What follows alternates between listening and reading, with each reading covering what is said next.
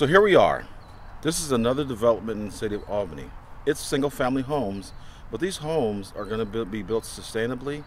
There's, gonna, there's, there's so much opportunity here for the city of Albany because one thing that's really important in South Albany is that we grow sustainably and smartly. There's going to be 300 homes here in this development.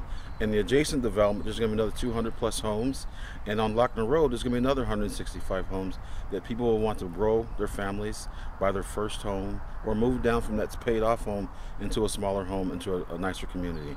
So what I'm excited about is that your vote is going to help me continue the work that we've started and we're going to further that growth and make sure we do it sustainably. So corporations want to come here and build their things build their trucks build their electrical panels. They want to come here and build with us and grow with us and have a place for their employees to raise their families. And i'm excited about the opportunity to continue as your mayor. So on november 8th when you get your ballot vote for me because i'm excited to serve the city of albany.